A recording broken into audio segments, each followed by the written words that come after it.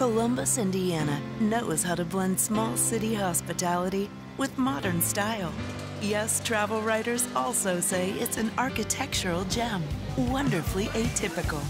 And visitors marvel at the uncommon encounters of a unique destination that warmly welcomes you.